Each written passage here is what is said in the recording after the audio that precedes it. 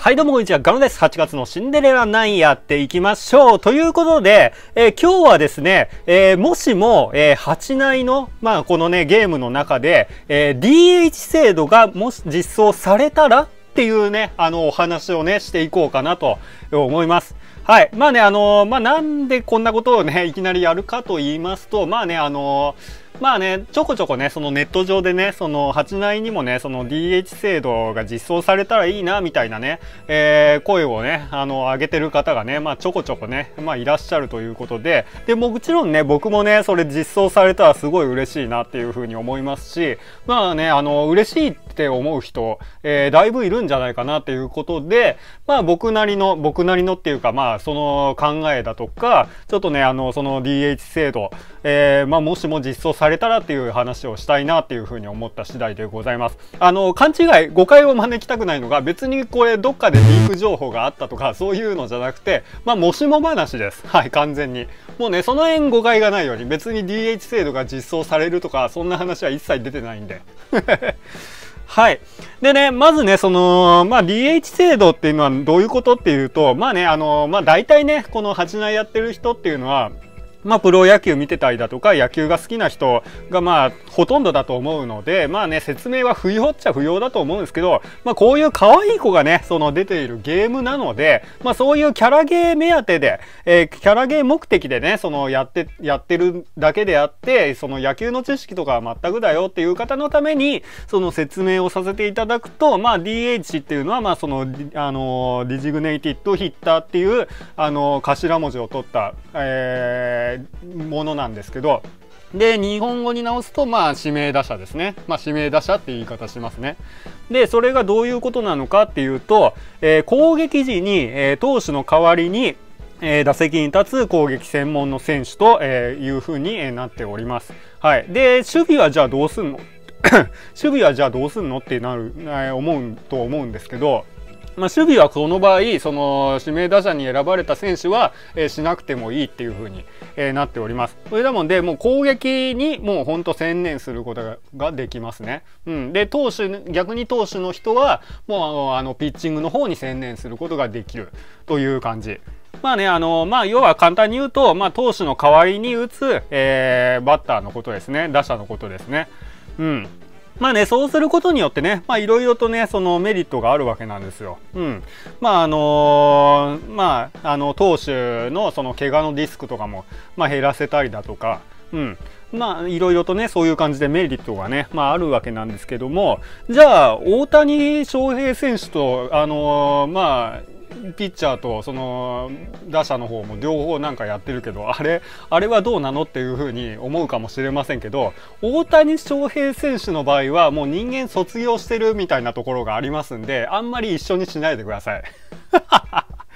いや、あんなね、もうひまわりもういくつもついてるようなね、ひまわりスキルがいくつもついてるようなね、あの人とね、一緒にしちゃダメですよ、常識的に。まあね、あのー、まあ普通、そのまあ高校野球であれば、その、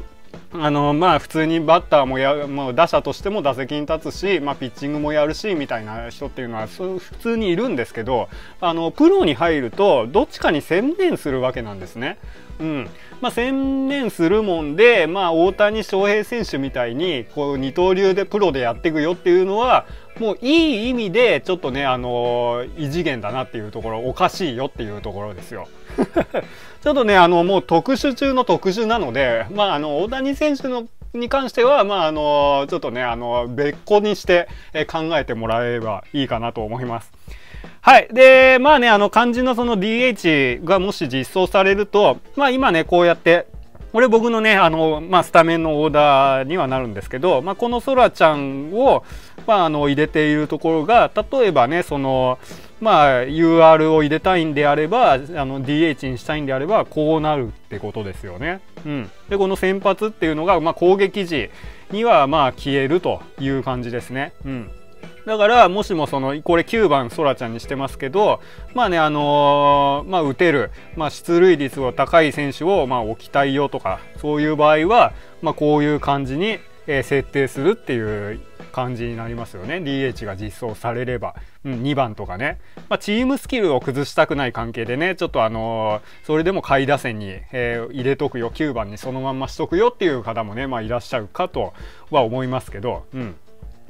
で、ただね、その、8内でこう実装するにあたって、まあいろいろとね、その、まあこれどうなんのっていうのがね、あの、ちょこちょこあるわけなんですよ。例えば、まあ例えばね、まあこのつくもパイセンだとかは、あの、まあ条件がなしになってるんで、これはいいと思うんですけど、例えばそうですね、この野崎ちゃんだとかね、その条件がね、この打席時っていうのはいいんですけど、ファーストの時ってなってるんですよね。うん。まあ DH は先ほど言った通り、守備はしないので、あのー、この辺がやっぱどうなるのかっていうところですよね。もし実装されれば。あのー、まあ、こういうのも、あの、変えずに適用ってなると、先ほどみたいな、つくもパイセンみたいに条件が打席時とかなしとか、まあ、そういう、まあ、あのー、野手を入れないと、ちょっと使えないよっていうところがありますよね。うん。まあ、現実ではね、もう、もう本当打てる人、もう誰でもいいんですけど、まあ、それはチームのね、その、あのー、が決めることであって、うん。いいんですけど、まあ、8内ってなるとね、やっぱこういうスキルのね、条件の兼ね合いとかもあるので、まあ、その辺がね、ちょっとどうなるかっていうところ、まあ、DH の時のみ、えー、固有は、あのー、条件が打席時に変わるとか、まあ、そういう、それも考えられますよね。うん。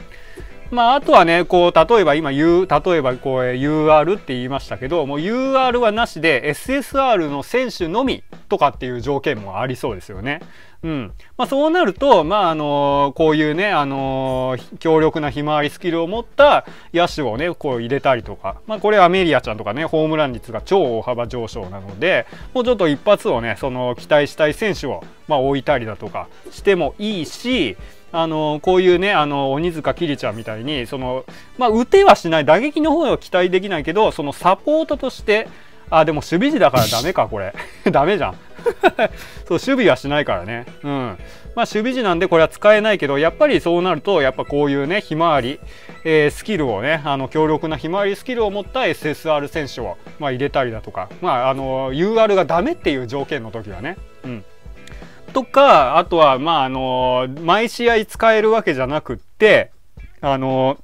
例えば全国大会とかで5回まで DH 制度を使えるみたいなとこ条件があるかもしれないですよね。うん、もうほんとここぞっていう時もうこの試合にはもうちょっとねあのあの勝ちたいよっていう場合はその DH 制度を使うとかもうあのあんまりこうあの敵をねその振り分けしたくない時部費使うんでね全国大会のあの振り分けも、うん、部費使うんで、まあ、そういうのをねあの、まあ、使っててもその強い選手あの強い学校としか当たんないとか、うん。まあ、ちょっとねあの普通のこの先発の投手を入れてるとちょっとねあのよよろしくないよっていう場合はその DH 制度を使ってまあ相手に挑むみたいなあの感じのもありえるしみたいな。うん。まあまあ、そういう感じでね、まあ、あのー、まあ、実装されたらされたでどうなんだっていうね、あの、スキルの兼ね合いとか、まあ、条件はあったりするのかっていうね、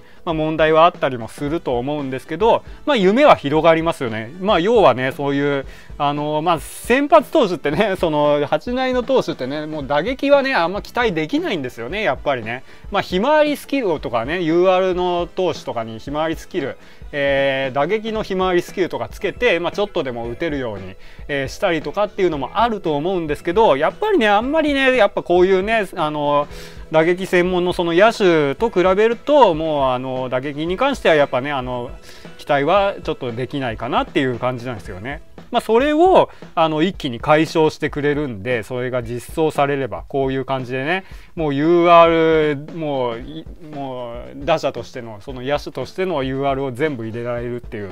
のがあったりもするんでね、うん、まあねあの非常に打線がねもうがらりと強化されるあの変わるんじゃないですか。強化されると思うんですよね。うん。まあ、この辺はね、まあ、僕としてもねあのすごい実装されたら嬉しいなっていうところですね。もうなんなら環境がね大幅変わるんじゃないかな DH 実装で。うん。だいぶ変わると思う。うん。ただねその、まあ、DH 実装っていうのはその実装考えてくれればそれはいいんですけどその運営さんがねそうもしもねその高校野球というものに忠実に再現するっていうんであればちょっと DH 制度の実装は厳しいんじゃないかなっていう懸念もあるんですよね。うん、まあねあのこの DH 制度っていうのがそもそも現実ではプロ野球のその一部にしか採用されていない制度であってその高校野球は一切そういう DH 制度っていうのはないんですよね、うん、現状。ないもんで、あのやっぱね、その、まあ、高校野球っていうところを意識するんであれば、してるんであれば、ちょっと DH 制度はちょっとなっていうふうに、あの、渋ってる可能性もあるよねっていうところですよね。うん。まあ、そこをどうするかですよね。もう、あの、そこを気にせず、もう、僕ら、僕ら見て、僕らっていうか、その DH 制度を実装してくれっていうね、言ってる、そのユーザーの声を聞いて、で、そういう実装してくれるのか、あの、そういう高校野球っていう設定があるから、まあ、あの、あの DH 制度はちょっと難しいよっていうね渋ってる可能性もあるしそれはちょっとわからないですね。まあ以前ねそのアンケートでなんかこうご意見ご要望みたいなのが、えー、書く欄あったんですけど多分ねそういう DH 制度を実装してくれってねその書いた人もね中にはいらっしゃると思うんで、まあ、それを運営さんがその願いを叶えるか叶えないかっていうところですよね。多分いると思うんですよね DH 制度実装してくれって書いた人。うん、まあ僕はちょっと書きませんでしたけど、うん、まあ、まあ、あったら嬉しいなぐらいの感じなので、まあ、そこまでこう、なんか熱望してるわけではなかったので、うん。まあ、書きはしませんでしたけど、まあ、あったらあったですごい嬉しいなっていう感じです。はい。まあ、こんな感じでね、まあ、あのー、夢が広がりますよ、本当に。うん。まあ、打線がね、強化されるんで、打てないね、そのピッチャーじゃなくて、打てるもう野手を、あの、攻撃時に入れられるんで、うん。まあね、そこはね、やっぱね、ワクワクしますよね。うん。まあ、打順をどうしようかなとか、うん、まあいろいろとねちょっと夢が広がるんで是非ね、あのー、そういう DH 制度をね実装してくれたらね、あのー、まあ正直正直っていうか素直に嬉しいです。はいという感じでね、あの話してみましたけど、まあね、あのー、まあ俺も DH 制度、あのー、実装してほしいぜとかっていうね、方はね、ぜひぜひコメント欄で、えー、お話ししましょう。はい。ということで、え今日はこんな感じで締めたいと思います。バイバイ。